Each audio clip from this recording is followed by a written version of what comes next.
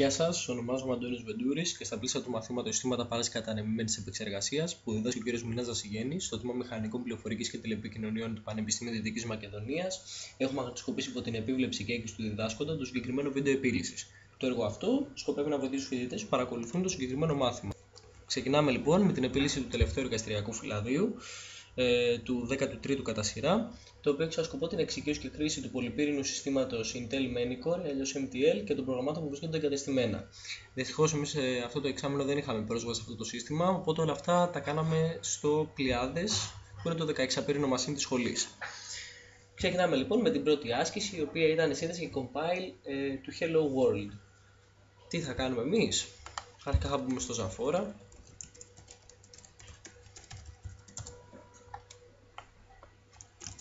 και από εκεί θα δώσουμε SSH πλειάδες. Θα φτιάξουμε ένα φάκελο, ας το πούμε MTL. Ωραία. Και θα φτιάξουμε το πρόγραμμα που μας λέει hello world.c Ξεκινάμε, include stdio in main argse car αστεράκι argv και printf hello world from πλειάδες.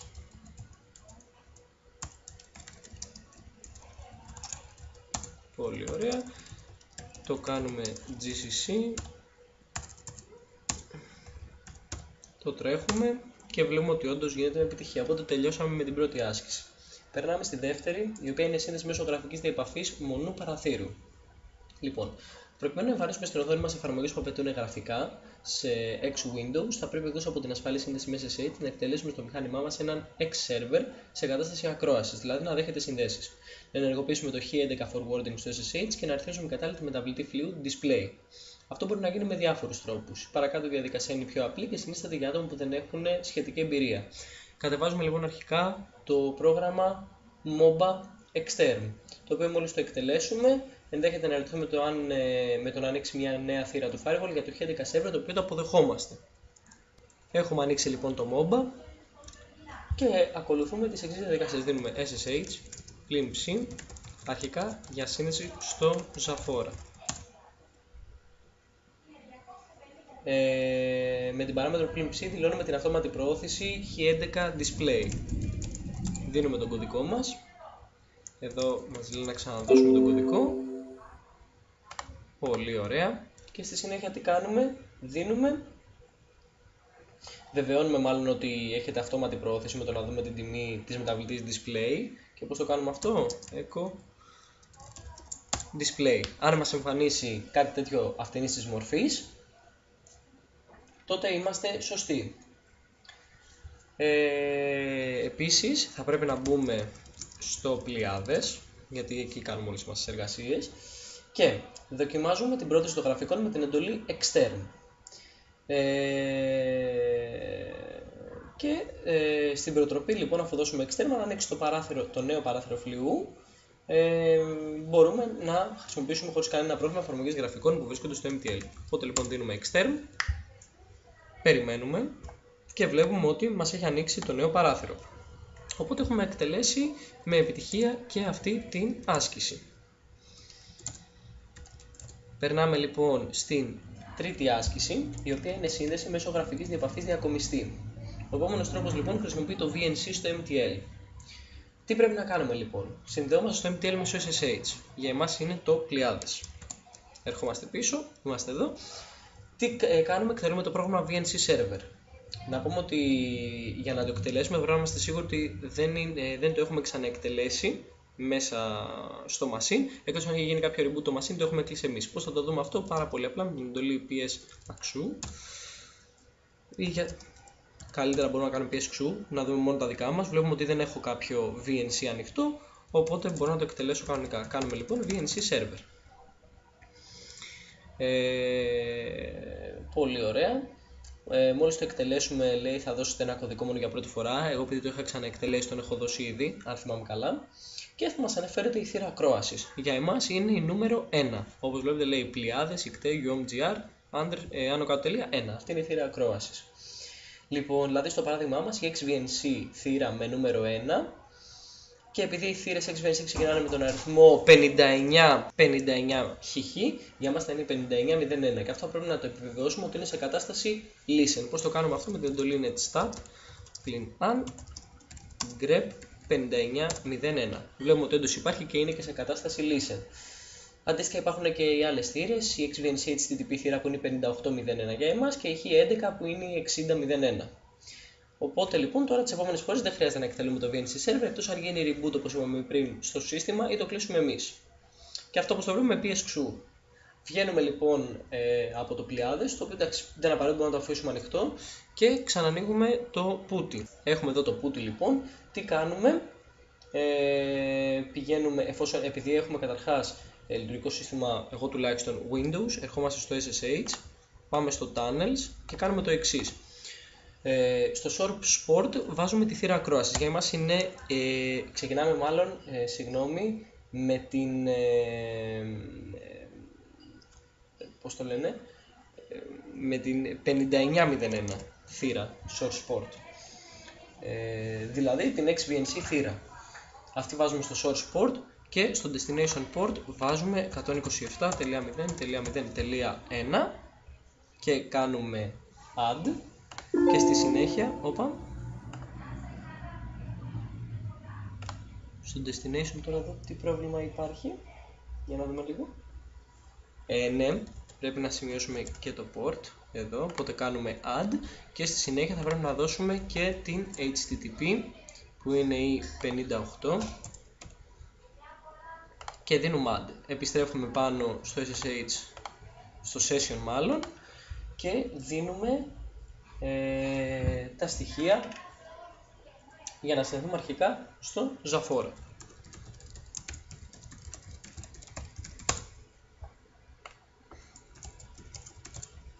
Πολύ ωραία. Τι κάνουμε; Τώρα, επόμενο βήμα είναι να ενεργοποιήσουμε μια SSH σύνδεση προς το Pleiades με το πρόγραμμα αυτό και με το πρόγραμμα SSH και την παράμετρο πρόθεσης πλην L δύο φορές για την πρόθεση θυρών. Τι κάνουμε λοιπόν, SSH πλην L 127.0.1 59.01 άνω κάτω L 127.0.01 59.01 πλην L 127.0.01 58.01, 58.01, και πλειάδες. Βλέπουμε ότι μπήκαμε με επιτυχία. Και τώρα τι κάνουμε, ανοίγουμε ε, ένα φιλομετρητή.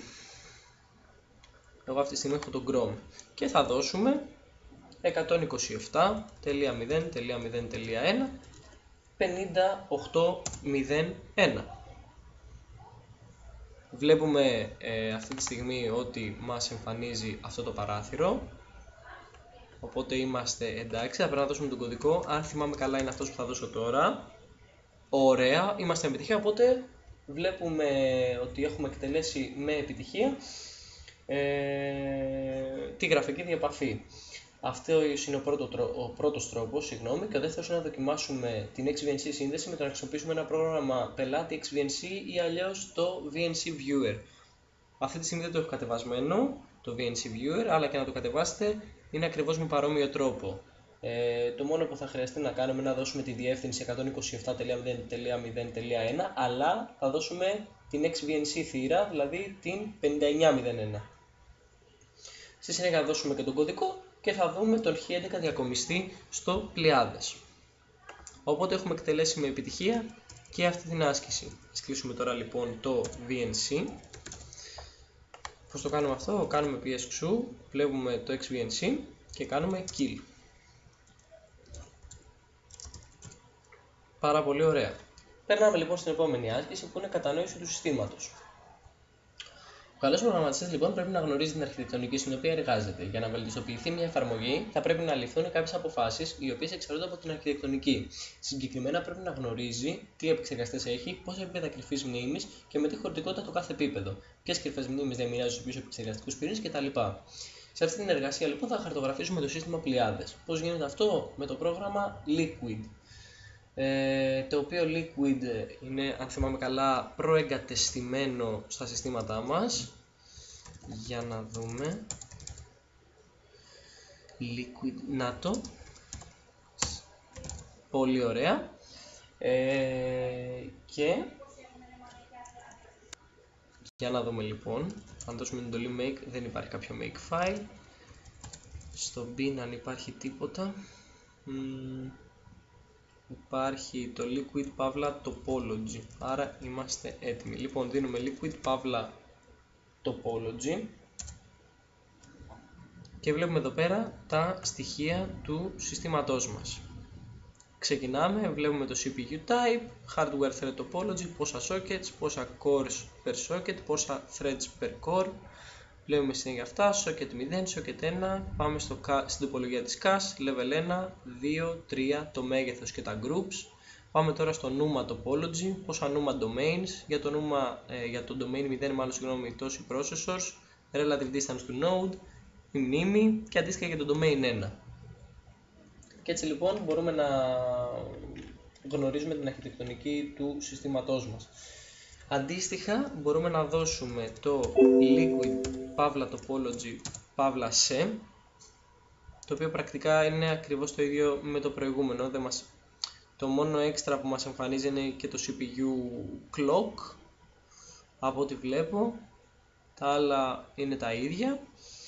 Απαντάμε λοιπόν σε κάποιες παρακάτω ερωτήσεις που υπάρχουν με στο εργαστηριακό φυλάδιο, όπως ας πούμε ποιος είναι ο τύπος ή αλλιώς όνομα του επεξεργαστή, συχνότητα ρολογιού, ξεχωριστές θέσεις για επεξεργαστές κλπ. Από αυτές είναι πολύ απλές και τις απαντάμε άλλωστε. Φαίνονται και εδώ πέρα. Και αντίστοιχα στο τέλος, αν δώσουμε liquid topology πλην g, θα δούμε με γραφική αναπαρά στην ιεραρχία της μνήμης. Με την οποία μπορούμε να επιβεβαιώσουμε τις απαντήσεις που έχουμε δώσει πριν. Είναι αυτή εδώ. Οπότε έχουμε τελειώσει με επιτυχία και αυτή την άσκηση. Στη συνέχεια περνάμε στην πέμπτη που είναι το εργαλείο Intel VTune Amplifier για την έβρεση των κρίσιμων σημείων. Ε, θα χρησιμοποιήσουμε το PDF αρχείο Hotspots Amplify ε, Lean, το οποίο βρίσκεται πάνω στο e-class, για να απαντήσουμε τις κάτω ερωτήσεις που υπάρχουν μέσα στο, ε, σε αυτό το φυλάδιο. Το φυλάδιο λέγεται OSE Lab Parses MTL και είναι και αυτό μέσα στο e-class. Οι ερωτήσεις αυτές ε, μπορούν να απαντηθούν εύκολα μέσα από το .pdf αρχείο που υπάρχει, εκτός βέβαια αν θέλετε αυτό που μπορείτε να κάνετε είναι να το χρησιμοποιήσετε κανονικά το εργαλείο, όπως είχαμε δείξει και στο εργαστηριακό φυλάδιο που είχαμε κάνει, το εργαστηριακό φυλάδιο της 11ης εβδομάδας αν θυμάμαι καλά, ή της 12ης, ε, μια από τις δύο, που δείχνουμε ακριβώς πώς αρχικοποιούμε, τις, μάλλον πώς ορίζουμε τις μεταβλητές περιβάλλοντος, για να χρησιμοποιήσουμε το εργαλείο, ποια αρχεία κατεβάζουμε, που τα κάνουμε, χρησιμοποιούμε το make file για να πάρουμε τα εκτελέσιμα και στη συνέχεια μπορούμε να τρέξουμε κανονικά τα προγράμματα ε, φυσικά μέσω του εργαλείου του VTune Amplifier για να απαντήσουμε στις αντίστοιχες ερωτήσεις. Δεν χρειάζεται να τα δούμε αναλυτικά, είναι πολύ απλός ο τρόπος αρκεί να ακολουθούμε ακριβώς τα βήματα που μας λέει το εργαστηριακό φυλάδιο. Περνάμε λοιπόν στην έκτη άσκηση, η οποία έχει να κάνει με, τη, με το σύστημα υποβολής εργασιών PBS στο Πλιάδες. Λοιπόν, ως τώρα έχουμε χρησιμοποιήσει μόνο τον κεντρικό υπολογιστή του Πλιάδες που είναι και ο login node. Βέβαια όλα αυτά έχουν, είχαν στηριχτεί πάνω στο σύστημα της Intel το Manicore. Α πούμε και λίγο πράγματα για το Manicore. Η αρχιτεκτονική του MTL λοιπόν δεν αποτελείται μόνο από αυτό το κόμβο, το login node δηλαδή. Φαίνεται μέσα στο σχήμα του PDF αρχείου ότι εκτός από το login node υπάρχουν και πολλαπλοί κόμβοι που συνδέονται με δίκτυο διασύνδεσης υψηλής ταχύτητας, gigabit fiber optic. Οι υπόλοιποι κόμβοι δεν επιτρέπουν τη σύνδεση χρηστών, αλλά είναι μόνο batch node, που σημαίνει ότι λειτουργούν σε κατάσταση slave και δέχονται εντολές ή προγράμματα προς εκτέλεση από το login node.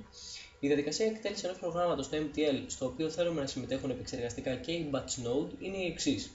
Δημιουργία της εφαρμογής μας στο login node, έλεγχος και επιβεβαίωση ορθής λειτουργίας. Δημιουργία αρχείου υποβολής εργασίας, στο οποίο αναγράφονται οι επεξεργαστές που ζητούνται μνήμη και άλλα στοιχεία. Υποβολή της εργασίας με το εργαλείο QSUB, επίβλεψη της εκτέλεσης με το εργαλείο QSTAT και συλλογή των αποτελεσμάτων. Να πούμε τώρα ότι το εργαλείο QSUB είναι ένα εργαλείο τερματικού που επιτρέπει την υποβολή εργασιών σε μια σειρά από batch nodes που συνεργάζονται ως στοιχεία PBS. Τα batch nodes είναι κόμβοι με πολλαπλούς πυρήνες όπου συνδέονται σε ένα κοινό σύστημα αρχείων NFS όπως φαίνεται από την εικόνα. Φυσικά όλα αυτά μπορούμε να τα δούμε στις εικόνες μέσα του .pdf αρχείου. Και συνεχίζουμε λοιπόν από τη σελίδα βοηθείας του QSub. Θα πρέπει να απαντηθούν κάποιες ερωτήσεις, τις οποίες απαντάμε μέσα από το man page του QSub.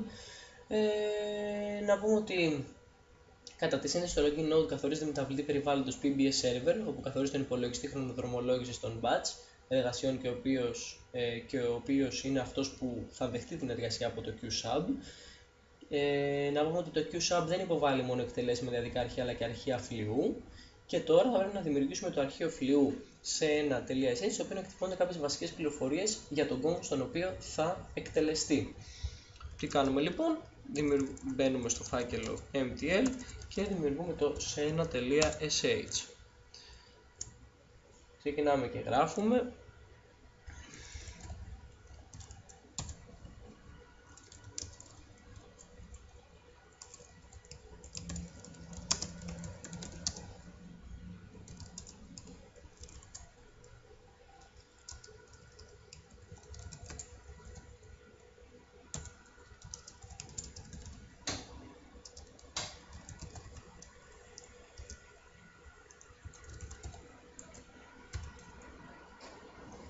copy paste κάνουμε αυτό το μικρό σκριπτάκι. Το κάνουμε save και γράφουμε chmod 750 σε ένα .sh. Το εκτελούμε και βλέπουμε τις απαντήσεις που παίρνουμε. Λοιπόν τώρα θα πρέπει να υποβάλουμε την εργασία ως εξής. Θα δώσουμε qsub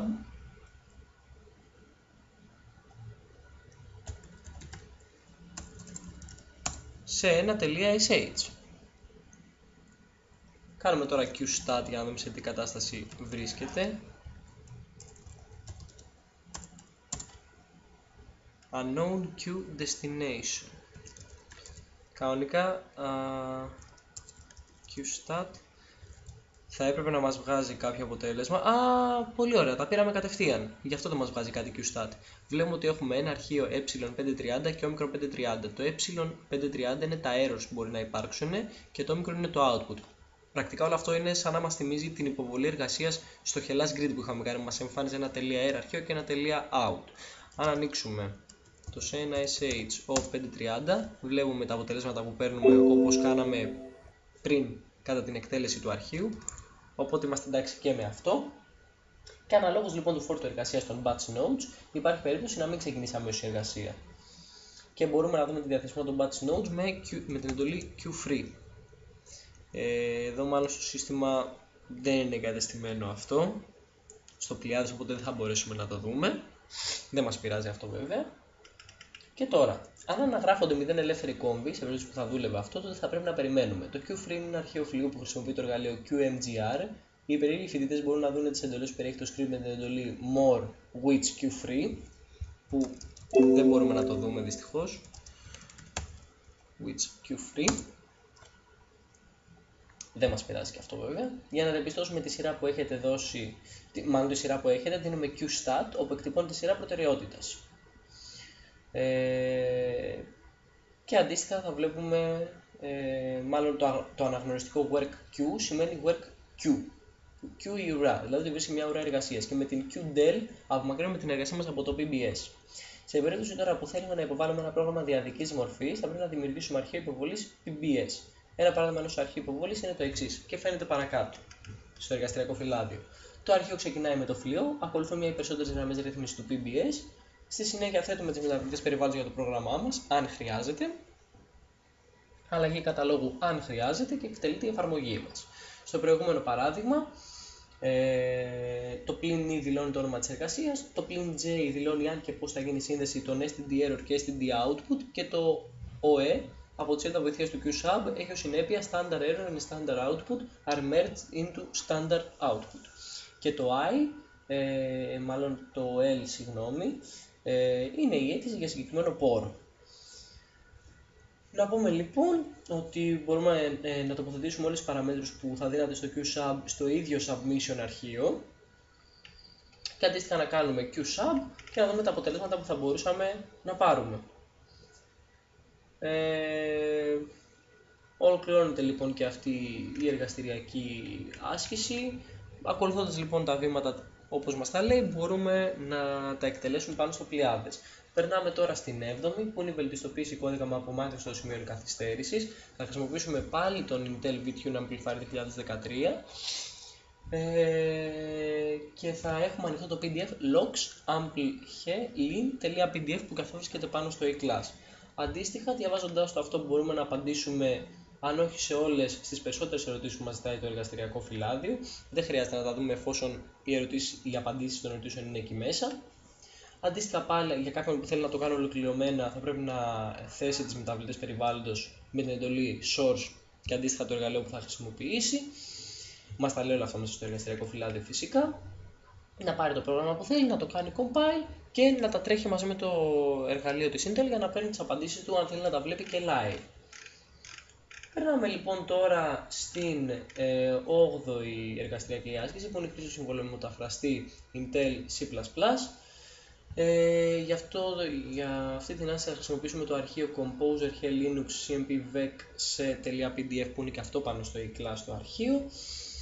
Ε, πρακτικά είναι η διανυσματοποίηση που το είχαμε δει στο ε, 11ο κατά σειρά εργαστηριακό φυλάδιο που είχαμε κάνει που είχα χρησιμοποιήσει τον Intel C++ Compiler ε, οπότε πρακτικά είναι ακριβώς τα ίδια πράγματα. Θέτουμε τις μεταβλητές περιβάλλοντος με την εντολή source και αν έχουμε ανοιχτό το PDF αρχείο μπορούμε να απαντήσουμε σε όλες τις ερωτήσεις του εργαστηριακού φυλαδίου ή αντίστοιχα ε, να ανοίξουμε τη γραφική διαπαφή του Composer ε, αν υπάρχει ε, και αντίστοιχα να απαντήσουμε στις ερωτήσεις ε, αυτές.